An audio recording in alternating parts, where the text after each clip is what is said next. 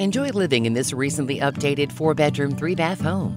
The open floor plan includes newer carpet, tile, and AC unit.